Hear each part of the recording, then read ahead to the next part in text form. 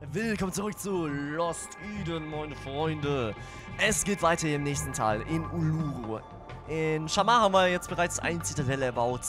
Aber eine Zitadelle reicht natürlich nicht im Kampf gegen Morgs Rex. Wir müssen auch in den anderen Tälern helfen, diese Zitadellen zu errichten. Und außerdem ist die Zitadelle auch nur äh, sehr, sehr schlecht befestigt in Shamar. Also früher oder später müssen wir die auch nochmal verbessern. Aber alles zu seiner Zeit. By the way, der Chong, dieser affenartige Bewohner aus Shamar, der hat uns jetzt verlassen. Der war nur temporär dabei. Das heißt, wenn wir jetzt wieder zurückgehen nach Shamar, dann ist er wieder dabei, aber er begleitet uns nicht in anderen Gebieten. Wäre auch zu krass, weil irgendwann wäre die Gruppe so heftig überfüllt, dass man keinen Überblick mehr darüber hätte. Reden wir mal mit Mungo, was der zu sagen hat. Ich bin mir sicher, dass die Ulele in diesem Tal leben. Wow. Hi, Captain Obvious. Natürlich sind hier Bewohner. Das hätte ich euch auch sagen können. Ja, und das sind hier in Ulu so Höhlenmenschen, die aber verdammt wichtig werden.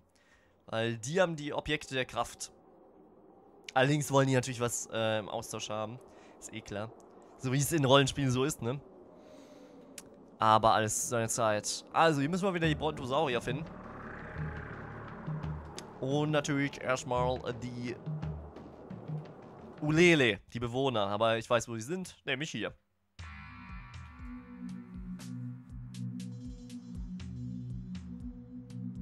Oh oh. Go to the dungeon. Go deeper. Monka S. Na, mal Schwierigkeiten. Ich könnte mal meinen, jetzt hat man Fehler gemacht, aber alles richtig gemacht. Hier wohnen die eben. Wie gesagt, Höhlenmenschen, ne? Guckt sie euch an. Sind sie nicht schön? Herrlich. Uga Buga.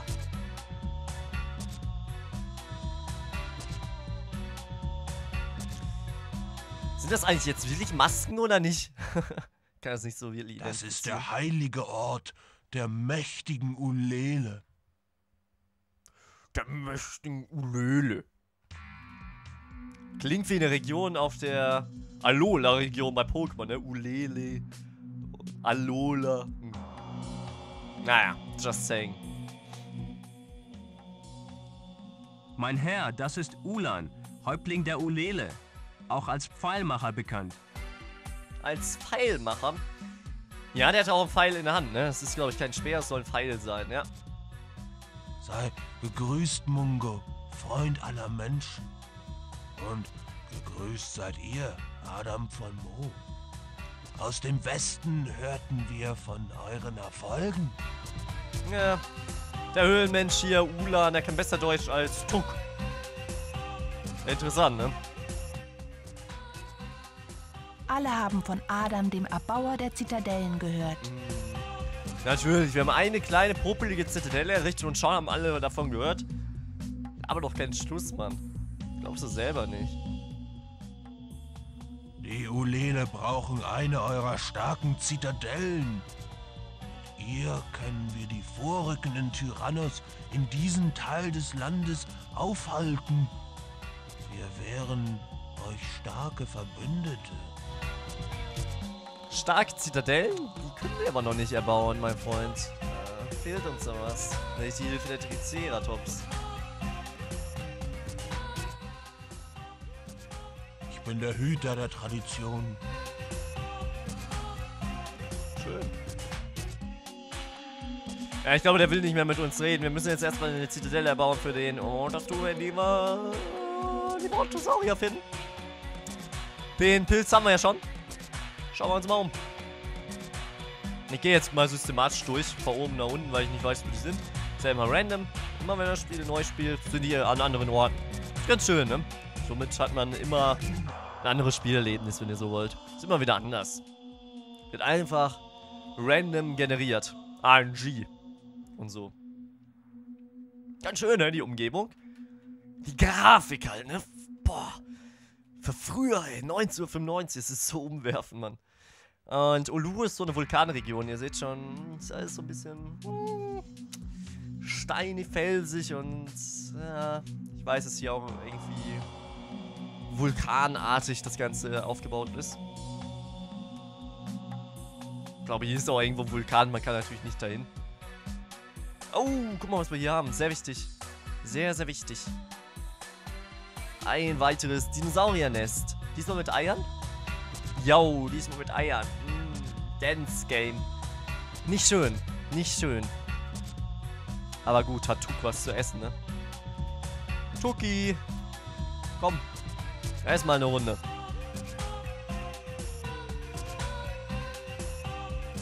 Bock auf eine Omelette? Wenn nicht, dann isst es trotzdem. Ich zwing dich dazu. Tuck, gehorch. Gut, Ei. Adam nehmen Nest. Tug nicht will. Hm. Gut Ei. Tuck neben Nest nicht will. Äh, oder Adam neben Nest. Tuck Nest nicht will. So. Äh. Ja, sorry. Dass ich diese komplexen Satzstrukturen nicht so wiedergeben kann. Da ist er mir intellektuell ein bisschen überlegen, ne? Der Tuck. So ist es leider. Hm. Ja. Schauen wir uns um Brontosaurier suchen. Wo seid ihr? Kriegt halt keine Tipps. Immer so ein kleines Versteckspiel. Versteckspiel-Simulator auch genannt. Lost Eden.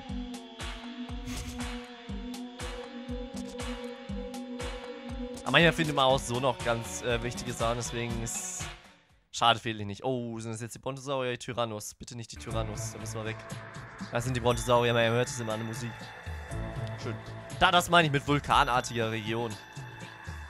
Euch mal ähm, das Gestein an. Sieht sehr feurig aus. Sie.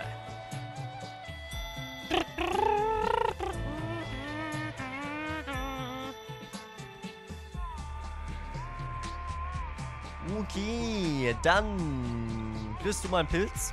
Denn der Pilz, der will's. Ja, erst wollte er nicht essen, habt ihr es gesehen? What the fuck? Strange. Boah, der Magen knurrt, ey.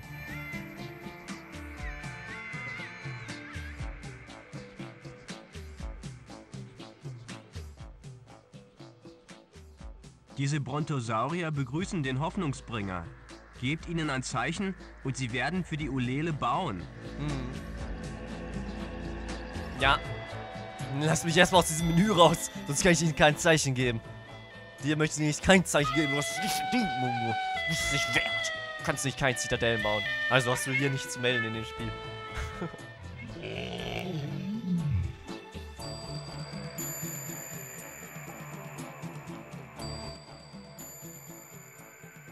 Mit Hilfe der Ulele werden sie an diesem Ort eine Zitadelle bauen.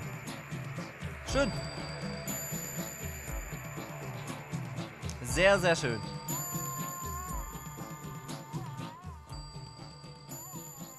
In den Ebenen von Uluru stand die erste Zitadelle der Ulele.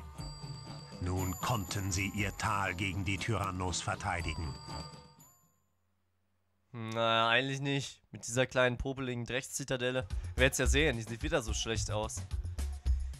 Jetzt gehen wir gleich nochmal zurück zu Ulan, reden mit dem, äh, berichten die Lage. So, jetzt so ein kleiner Zitadelle. Ey, die sieht besser aus als in Shamar. Ja, die sieht wenigstens ein bisschen auch was aus, ne? So habe ich früher auch im Bauklötzen was gebaut.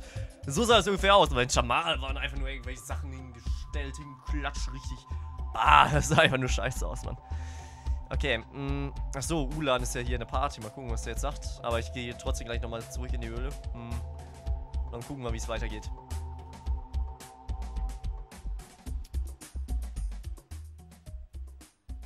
Ihr habt uns eine Zitadelle gebaut. Nehmt dieses Geschenk von meinem Volk. Schön. Danke dafür. Ist aber noch so eine Tafel. Kann ich mal zeigen, was die Tafeln bringen. Also, lehnt euch zurück. Die erste Tafel ist die gefährlichste. Denn es ist eine Verbindung zu Morcus Rex.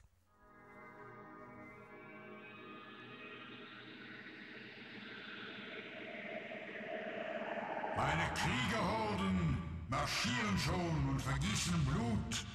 Bald werden deine spröden kleinen Knochen in der Sonne der Tyrannos ausbleichen. Tja, das ist ein Bösewicht, wie er im Buche steht. Wenigstens ein Bösewicht, den man ernst nehmen muss, ne? Nicht wie Bowser zum Beispiel in Super Mario. Wobei Gendorf zum Beispiel muss man eigentlich auch ernst nehmen, außer in Super Smash Bros., wo ihm halt der schlechteste Charakter ist. Und als Witzfigur dargestellt wird. Aber was ist jetzt diese Tafel? Wir schauen uns das an.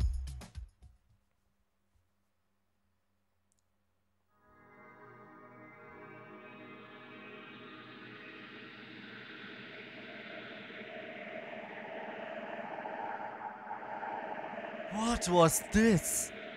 Das gesehen, was war das denn für ein Bewohner? Ähm. Ganz komische Sachen. Und wir wissen immer noch nicht, was wir mit den Tafeln machen können. Auf jeden Fall mal zwei von sechs.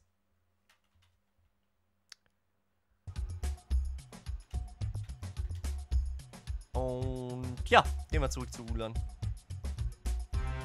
Oh, United LAN. Ulan und seine LAN-Partys. Die sind einfach nur legendär. so. Hey! Ich hab's getan, was ihr wolltet. Ich bin der Hüter der Tradition. Ja, schön. Und du gibst mir nichts. Ich mach die Drecksarbeit und du gibst mir nichts. Undankbares Pack. Nee, ernsthaft, Mann. So wird einem gedankt. Gibt's doch nicht. So, wenn nicht alles täuscht, müssen wir jetzt hier ähm, das Gebiet verlassen können. Ja, ich sollte einfach zur Map zurückkehren.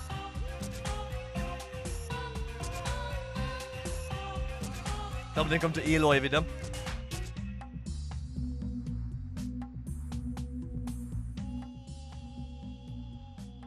Habe Neuigkeiten. Ja, schieß los. Ich glaube, jetzt kommen auch mal schlechte Neuigkeiten.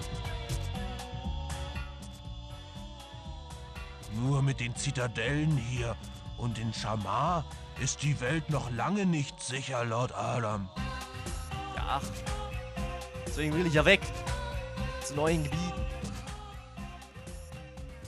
Ulan von den Ulele hat recht, mein Herr. Wir müssen die nördliche Grenze verstärken, sonst können die Tyrannos leicht dort einfallen.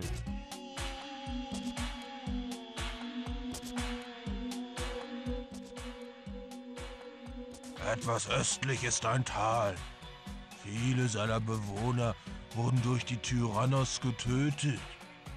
Sie werden eure Hilfe begrüßen.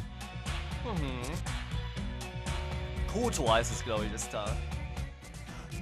Klingt sehr japanisch. Wer sind diese Leute, Ulan? Es sind die Kobu. Mhm. Das sind die Kobu. Alles klar.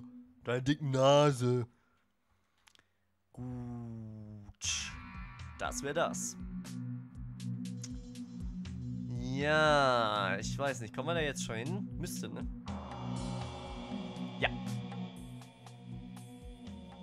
Zeigt mir, wo ihr hin möchtet.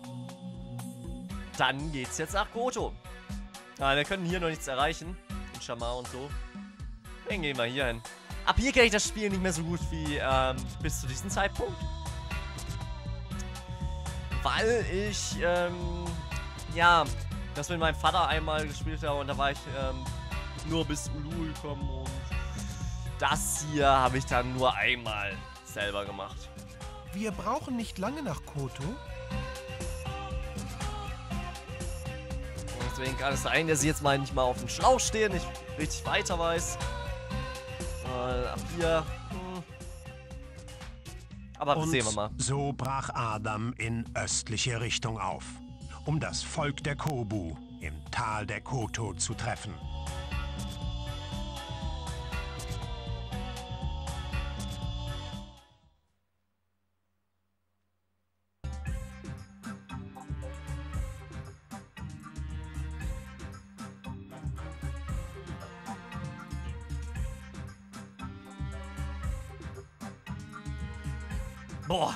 Das muss eine Hitze sein. Ab durch die Wüste. Holy shit. Das wäre wieder ein äh, Untergang für mich. Wenn ich selber in der Wüste wäre. Oh mein Gott. Ich hasse es ja. Mich machen schon 20 Grad kaputt. Und Wüste, wie viel Grad sind da? 60 Grad? Ich glaube, ich will sterben, ey. Würde jämmerlich verrecken. Könntet ihr mir 50 Mon Monster Energy Drinks hinlegen oder 50 Red Bulls. Äh, ich würde trotzdem nicht freiwillig hingehen, ne? Ich würde da wirklich verrotten. Das wäre gar nichts für mich.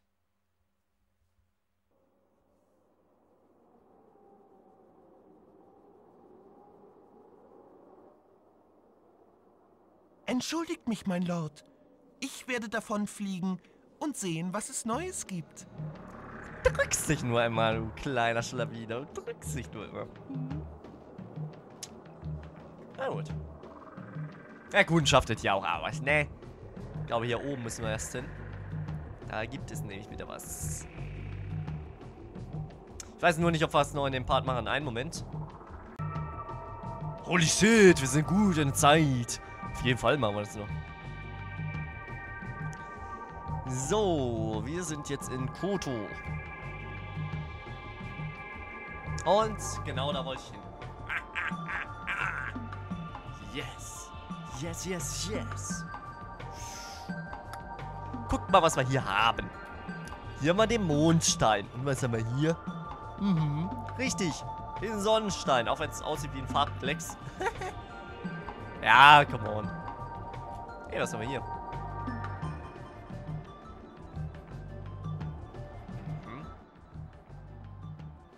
Das sieht aus wie alte Zeichnungen, Adam. Höhlenmenschenzeichnung. Eines Tages werden die Nachfahren der Kotus sie sehen und von ihren Ahnen träumen.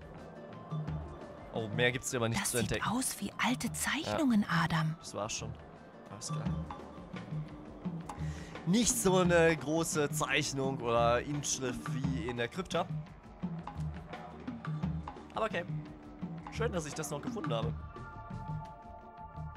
Habe ich gar nicht äh, erkannt, muss ich ehrlich sagen.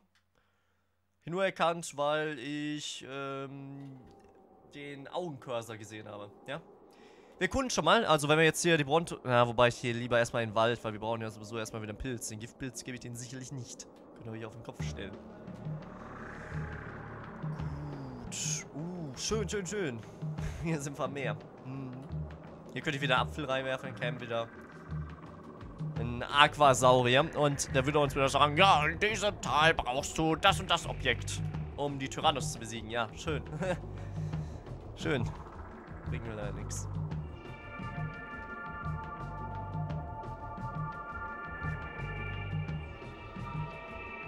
Na, jetzt Augen aufhalten. Ja, hier sind sie. Die anderen Pilze lasse ich da jetzt einfach, weil ich weiß bis heute nicht, was man mit den Giftpilzen machen kann. Ihr mir gerne in den Kommentar schreiben, falls ihr es wisst. Ah, yeah. Ja, da braucht man insgesamt sechs Stück von, aber erst gegen Ende des Spiels. Aber ist ja schön, wenn wir die schon mal haben. Ah, wieder mit Eier. Okay, Tuk dir diesmal ein Over Easy. Oder mach was auch immer du möchtest, auf jeden Fall. Mach die Eier raus. Geh mir nicht auf Eier. Klingelingeling, klingeling, hier kommt der Eiermann. Exzellent. Gut, Ei. Adam nehmen Nest. Tug nicht will. Okay, Adam neben Nest. Gib mal her. Jetzt haben wir schon drei. Das ist ja allerlei. Und ich hau alle Gegner zu Brei. Und schon ist das Spiel im Nu vorbei. Hier könnten sogar die Bewohner sein. Schauen wir mal. Holla, damit kann ich leben. Das sind die schönsten Bewohner, ne? Hi, Zurong. Das sind Amazonen. Willkommen. Willkommen im Tal von Koto. Ich bin Komala, Häuptling des Kobu-Stammes.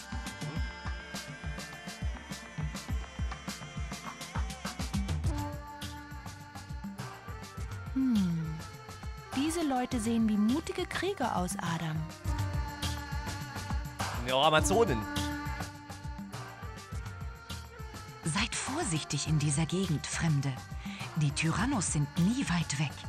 Wir bekämpfen sie, aber viele unserer Krieger sind tot.